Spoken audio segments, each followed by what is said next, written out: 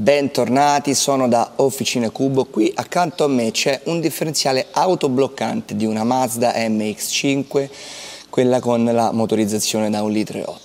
Questo differenziale verrà montato su questa Mazda che sta qui, che è una 1600. Questo qui è un autobloccante, mentre quello che monta eh, la 1600 no. Andiamo a vedere come si fa, scopriremo tutto insieme ai ragazzi di Officina Cubo.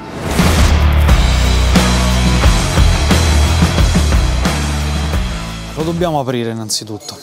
Vuoto è già vuoto, l'olio è già stato scaricato, i due semiassi sono stati rimossi, quindi dobbiamo rimuovere questo e questa parte, questi dati della corona.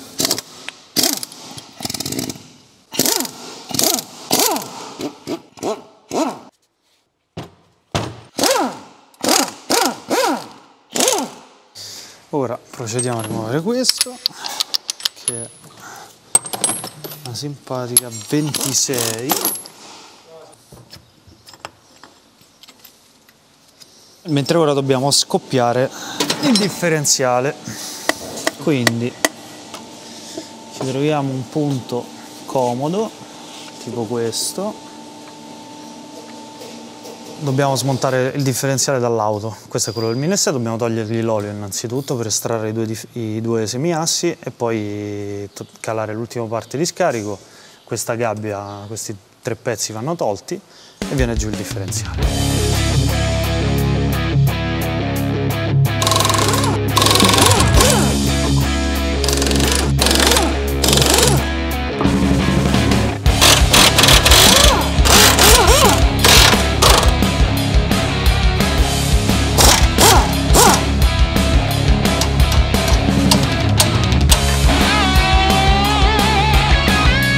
togliere i due bulloni del PPF che sono questi due.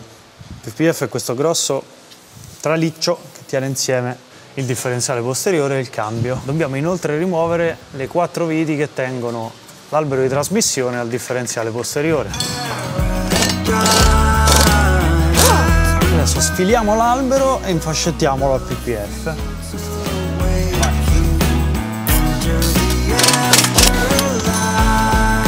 Vai, adesso ci sono i due supporti superiori di questi braccetti per fare in modo che il semiasse si separi dal differenziale e ci dà un po' di spazio per toglierli.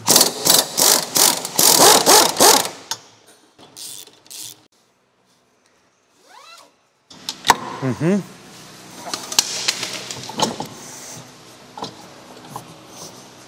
No, c'è ancora tutto il mille righe dentro.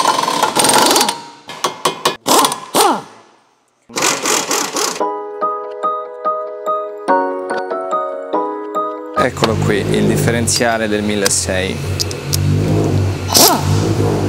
Vai, adesso cominciamo a smontare quello del 1600.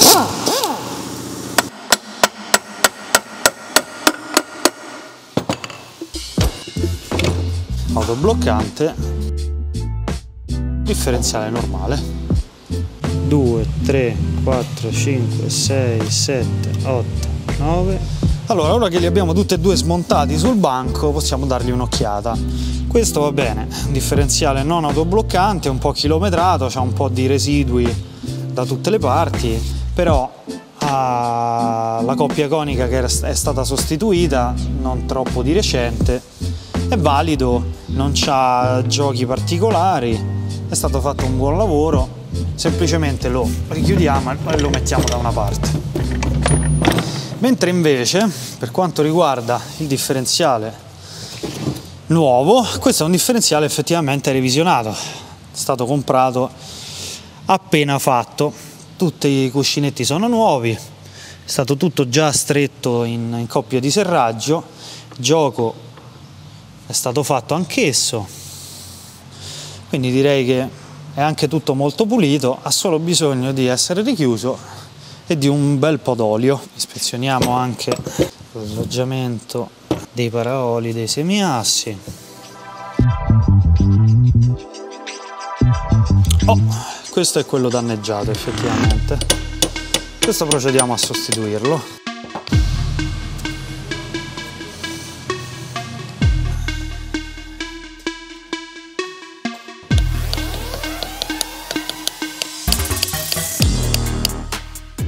Perfection. Guardiamo dall'interno. Non ha copiato. Va battuto ancora un po' per farlo arrivare a battuta. A posto. Vediamo i residui di sigillante precedente. Guardare in che stato si trova questo antro, che è l'antro dello sfiato. Questo è il breather, fa uscire un po' di pressione quando il differenziale è molto su di giri. Bisogna controllare che semplicemente faccia il suo lavoro, ovvero scaricare un po' di pressione all'esterno.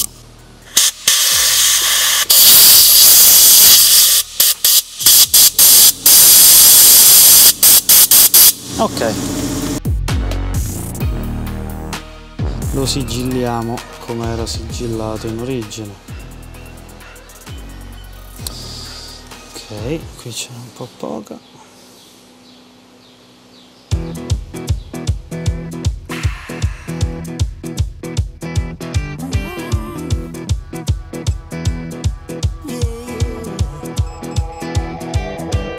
Out in stormy weather, I might have the blues, but nothing ever stopped me from dusting off my shoes.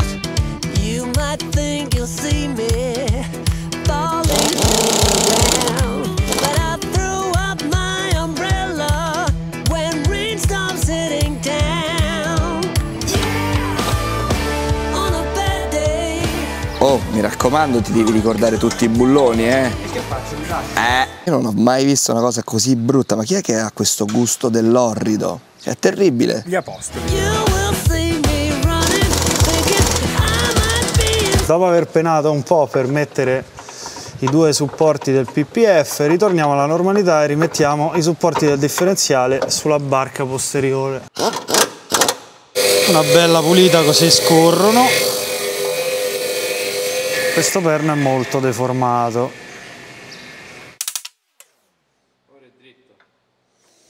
Beh.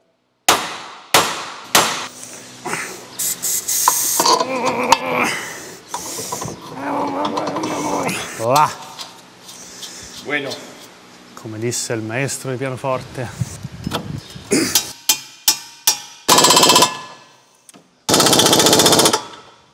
Posto.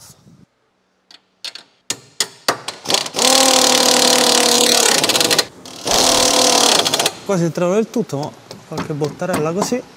Ah, Tac. Quindi non vanno cambiati i semiassi con il differenziale diverso. non con questa versione, è dato per compatibile, quindi. Ok. Dai che hai finito, abbiamo finito! rimettiamo lo scarico, riavvitiamo la sonda.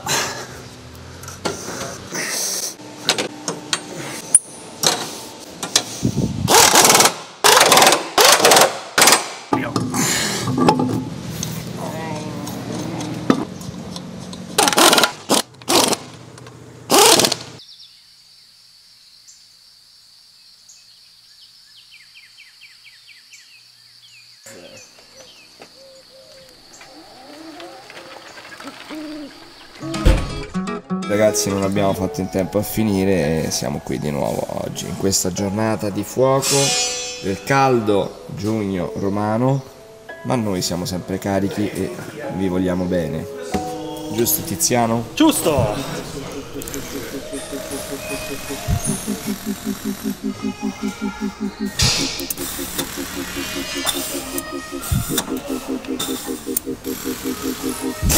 Quanti litri? Uno dovrebbe andarci.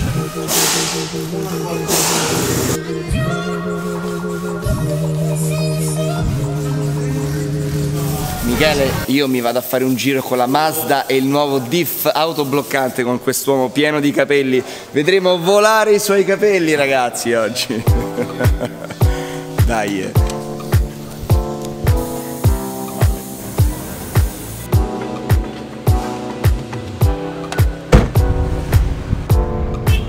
drive, clacson funzionante. Ovviamente non è che senti la differenza del differenziale in un test drive del genere, No, servono un po' di curve come si deve. servono un po' di curve come si deve. Non sento rumori di morte, non sento scatti, tutto serrato a dovere. C'è solo l'unica pecca che il volante è leggermente storto, ma quello già da prima credo forse perché la piastra del volante stata messa un dente troppo a destra, tutto là. Ma il resto mi sembra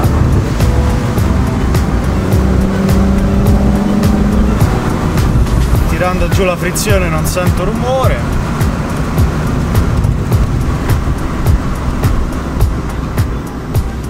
tutto sembra funzionare a tutti adesso Vabbè sì, ma mica Tutti vorrei adesso. attraversare. Già adesso. Pure la Tesla. Pure la Tesla. Quello se l'attraversa. Pure la Tesla. Se la attraversa lui, zio. Lui dritto in moto Tesla con la buia. Cioè, due, due mezzi più esotici non li potevamo trovare, la Buell e la Tesla. Oh, oh, mi parte la telecamera! non la attraversare, lo fa il proprietario, ragazzi!